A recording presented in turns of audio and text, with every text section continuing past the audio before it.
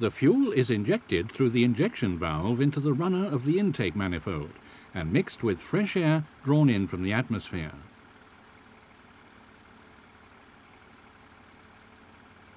During the intake stroke, the air-fuel mixture passes through the opened intake valve into the combustion chamber.